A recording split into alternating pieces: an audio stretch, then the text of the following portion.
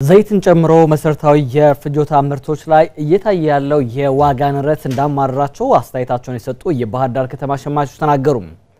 የሀገር ውስጥ ዘይት አምራቾች በበኩላቸው መንግስት ለዘይት ግብዓት የሚሆኑ የቅባት እህሎችን ወደ ውጭ ከመላክ ይልቅ የሀገር ውስጥ ፍጆታን ማሟላት ላይ ትኩረት ሰጥቶ ሊሰራ ይገባልም ብለዋል።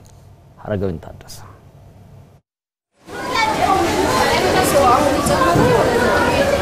እንግዲህ ከሰሞኑ ዘይትን ጨምሮ አንዳንድ መሰረታዊ የፍጆታ ምርቶች ዋጋ መጨመርን ተከትሎ በባህር ዳር ከተማ ዋናው ገበያ ይህን ለመቃኘት ተገኝተናል።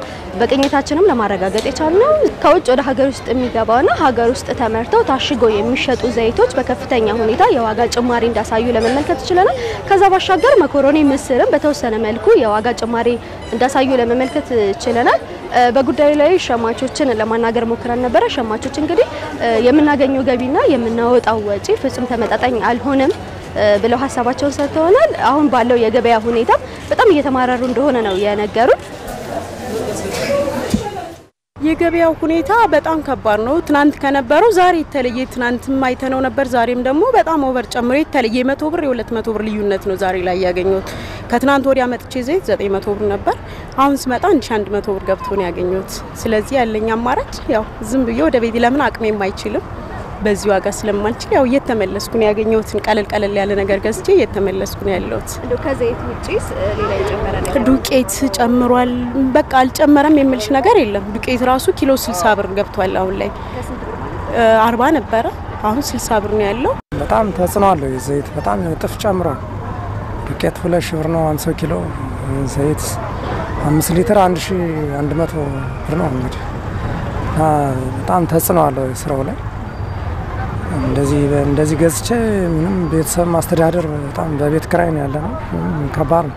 ክክ አምስት ብር ጨምሯል ከኪሎ።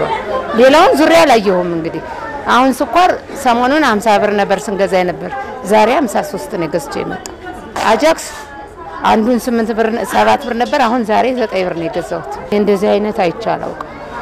በጣም የሚያሳዝነው በእኛ ደረጃ የምንኖር ሰዎች እንዴት እንደምናደርግ አይገባኝም። ሀሳባቸውን የሰጡን የህብረተሰብ ክፍሎች መንግስት ከዝነው ያስቀመጡ ነጋዴዎች ላይ እርምጃ ሊወስድ ይገባል ብለዋል። በተጨማሪም በሀገር ውስጥ ዘይት የሚያመርቱ ፋብሪካዎች ምርታቸውን በተመጣጣኝ ዋጋ ለገበያ ሊያቀርቡና የገበያ አማራጭ እድልን ሊፈጥሩ ይገባልን ብለዋል። ምርት አለ፣ ነጋዴዎቹ ደብቀውታል። አሁን እኮ ይሄ ዘይት እኮ ጠፍቶ አይደለም፣ በሆነ ምክንያት የሆነ ቦታ ደብቀው ነው አንድ ህብረተሰቡን እንትን ለማለት ነጋዴው ላይ በጣም ትልቅ ችግር አለ።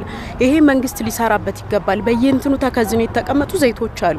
እነሱ ነገር ሁለተኛ እነዚህ የተከፈቱ ፋብሪካዎች አሉ። እነሱ ለኛ እስካሁን ደርሶን አያውቅም። በላይነክ እንዴ ይባላል ወርቁ አይተ ነው። እነሱን ዘይቶች አላየናቸውም። የዘይት መረጋጋቱ እስካሁን 600 ምናምን ነው የምንገዛው። ያም ሆኖ ግን እነዚህ ሀገር ውስጥ ያሉ ፋብሪካዎች እያሉ ይህን ያህል የዘይት ንረት እኛ ልንቸገር አይገባም ነበረ። ዋጋ ከጨመረ ጀምሮ አሁን ስራ እየሰራን አይደለም።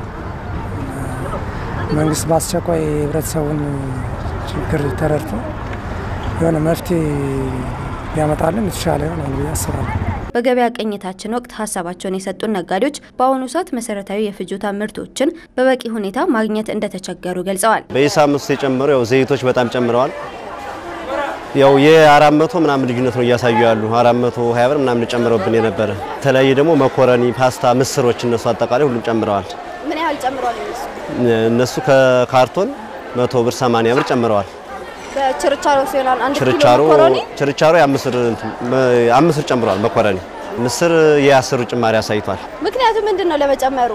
ያው ውጭ ላይ ተዘግቷል። የቱርክ ምርት ወደ ውስጥ አይገባም ብሎ ነው እንትን ያሉ አስተያየት እየሰጡ ያሉት። ከውጭ የሚመጣው የዘይት ምርት ዋጋው ከመናሩ ጋር ተያይዞ አብዛኛው የህብረተሰብ ክፍል ፊቱን ሀገር ውስጥ ወደሚመረቱ የዘይት አይነቶች አዙሯል። በኑግ ዘይት ምርትና ሽያጭ ላይ የተሰማራችው ወይዘሮ ፋጢማ ለማ ከውጭ የሚመጣውና እነሱ በሚሸጡት ዘይት መካከል ከፍተኛ የዋጋ ልዩነት ስለመኖሩ ትናገራለች። ታዲያ ብዙን ህብረተሰብ ማስተናገድ የሚችል ምርት እንደሌላቸው የምትናገረው ወይዘሮ ፋጢማ የተሻለ ስራን ለመስራት መንግስት ያለብንን የግብዓት ችግር ሊፈታ ይገባልም ስትል ትናገራለች። እችን ሶስት ቀን ነው በቃ እኛ አልተዘጋጀንም፣ እህሉም የለንም፣ አቅርቦቱም የለንም።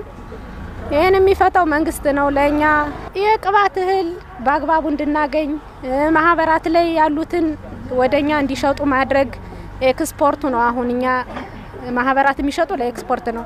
ኤክስፖርቱ ቢቆም ለሀገሩ ውስጥ በቂ ነው።